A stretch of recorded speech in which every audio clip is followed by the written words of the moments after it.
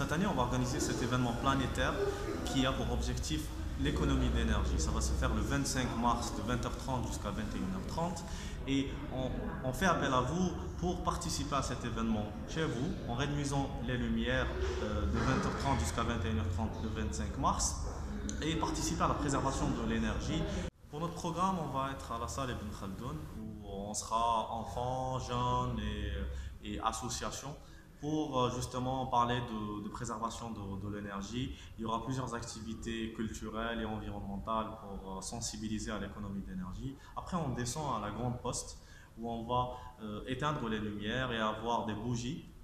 On fera des fresques et on va s'engager à préserver notre environnement et à réduire notre consommation d'énergie tous les jours.